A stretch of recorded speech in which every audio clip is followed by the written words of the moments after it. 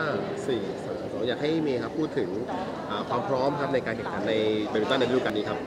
ค่ะสำหรับความพร้อมของร่างกายเมย์ค่ะ ค่อนข้างที่จะก็ถือว่าไม่ไม่ได้มีอาการบาดเจ็บอะไรค่ะ ก็ไม่อยากให้ทุกคนเป็นห่วงค่ะ ตอนนี้ก็ถือว่าอยู่ในช่วงที่เราก็พยายามฝึกซ้อมเอ่อให้เต็มที่แล้วก็ในเรื่องของรูปแบบการเล่นก็ เราต้องค่อยๆ ปรับไปเรื่อย ๆ เพราะว่าในแต่ละแมตช์ของแต่ละเกมอะไรอย่างเงี้ยมันค่อนข้างที่จะเราต้องมอง ณจุดนั้นมากกว่าเราไม่ได้คาดหวังว่าเราจะต้องเล่นแบบนี้อย่างเดียวค่ะ เพราะว่าเราจะต้องเปลี่ยนสไตล์การเล่นให้ได้หลาย ๆ อย่างค่ะ แล้วก็ถ้ามองถึงเป้าหมายการแข่งขันใน 3 รายการนี้ก็จะพยายามเข้าถึงเซมิไฟแนลให้ได้ในทุก ๆ รายการค่ะ แล้วก็พยายามจะพยายามคว้าแชมป์กลับมาให้ได้ แล้วก็จะพยายามเอ่อเขาเรียกว่าอะไรนะคะ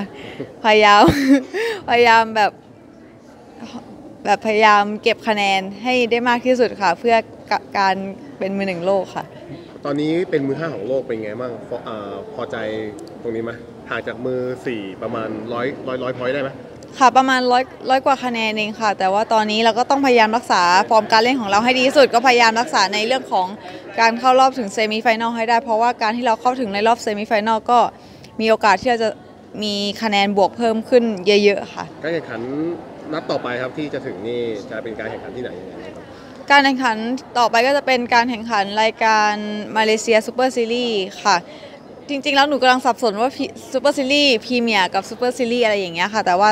ทั้ง 3 รายการก็ถือว่าเป็นระดับ Super Series ก็คือมีทั้งมาเลเซีย อินโดนีเซีย แล้วก็รวมถึงอินเดียค่ะ ก็พยายามตั้งใจจะคว้าแชมป์ให้ได้นะก็ก็ต้องอย่างนั้นอยู่แล้วค่ะ แต่ก็ถามว่าเรามี ความรู้สึกกดดันกับตัวเองไหมจริงๆ แล้วตอนนี้ก็เราโตโตเป็นผู้ใหญ่มากขึ้น การที่เราจะ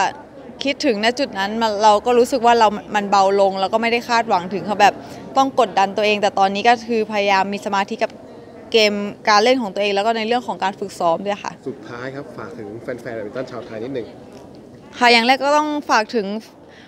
แฟนกีฬาช่อง True for You นะคะ ก็อย่าลืมให้กำลังใจเมย์ในการแข่งขัน